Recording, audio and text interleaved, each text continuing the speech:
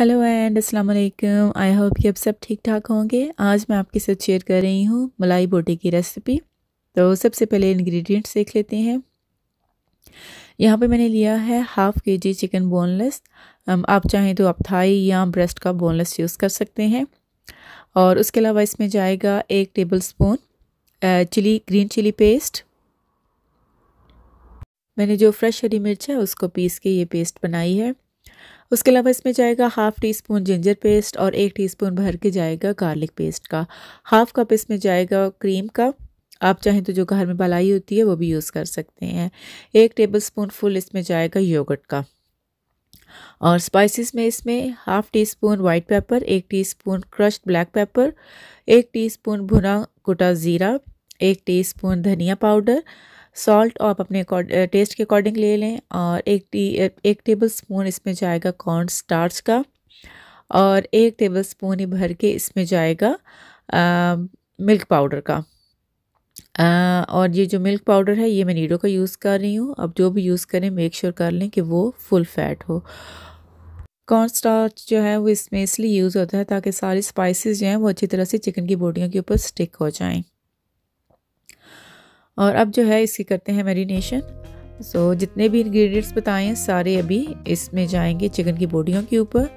और हरी मिर्च जो है वो आप अपने टेस्ट के अकॉर्डिंग जितना आप स्पाइसी खाते हैं उस के अकॉर्डिंग आप एडजस्ट कर लें कम या ज़्यादा.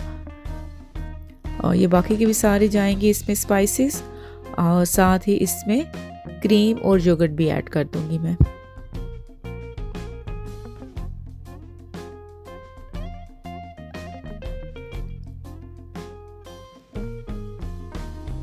और अब मैं अच्छी तरह हाथ से इसको आ, मिक्स करके ये सारा जो आ, मसाला है ये मैं बोटिंगों पे लगा लूँगी। मैं इसको ओवरनाइट छोड़ दूँगी मैरिनेट होने के लिए लेकिन आप इसको आइडियली आप इसको तीन से चार घंटे के लिए मैरिनेट ज़रूर करें। लेकिन अगर आपके पास इतना टाइम नहीं है तो आप इनको स्ट्रेट अवे भी बना सकते हैं। मैरिनेशन से ये होता है कि जो टेस्ट है वो अच्छी तरह से, सारे जो स्पाइसेस का टेस्ट है वो अच्छी तरह से बोटियों के अंदर तक चला जाता है। और ये जो मैरिनेशन है, ये मैंने रेडी कर दी है। अब मैं इसको छोड़ दूँगी फ्रिज में ओवरनाइट और फिर इसको मैं बनाऊँगी।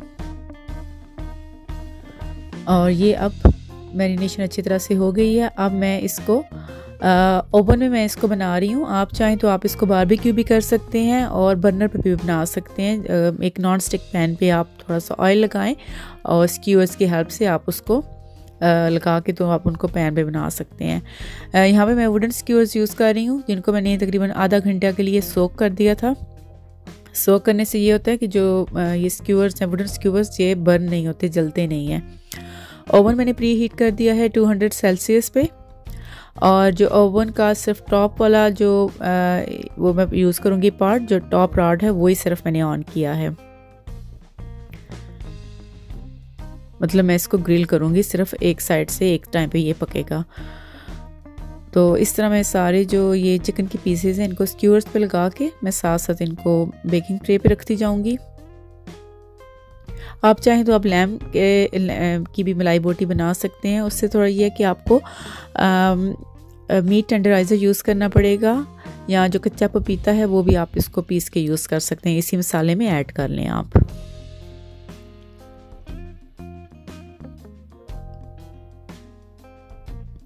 इनका बहुत डिफरेंट सा टेस्ट होता है। जो यूजुअल आप टिक्के खाते हैं, उनसे थोड़ा डिफरेंट टेस्ट होता है, लेकिन बहुत मज़े का होता है।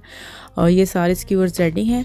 अब इनको मैं रखूँगी ओवन में और इनको मैं मिड वे निकालूँगी। जब ये एक साइड से पक जाएँगे तो इनको मैं निकाल के इनके ऊपर मेल्टेड बटर से इनको मैं बेस्ट करूँगी और फिर इनकी साइड चेंज करूँगी।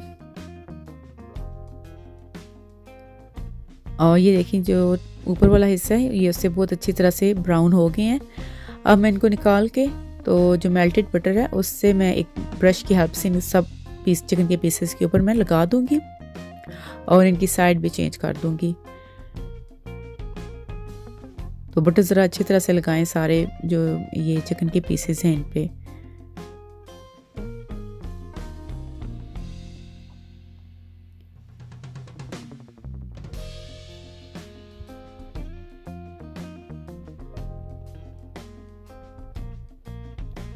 और इनकी साइड चेंज करके दूसरी साइड साइड पे भी मैं ऐसे लगा लूँगी बटर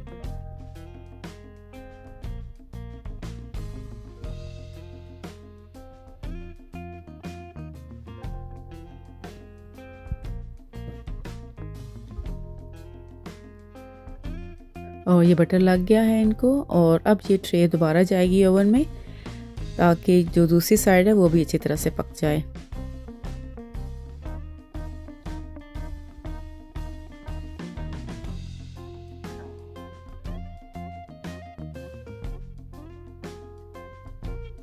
और ये चिकन की जो, ये जो मलाई बोटी है, ये रेडी है, दोनों साइड से बहुत अच्छी तरह से ये पक गई हैं। और ट्रे को मैंने निकाल लिया ओवन में से और ये देखें करीब से आप कितना मज़े का, कितना यमी लुक लग रहा है इनका। और इसकी मैं करती हूँ प्लेटिंग और ज़रूर ट्राई कीजिएगा। ये बहुत सकुलेंट, बहुत सॉफ्ट और बहुत मज़े की बनती हैं और इनका टेस्ट भी थोड़ा डिफरेंट आता है। तो अगर आपको पसंद आए ये रेसिपी तो मेरे चैनल को सब्सक्राइब कर लें और मेरी वीडियो को लाइक एंड शेयर कर लें। And thank you for watching. Bye.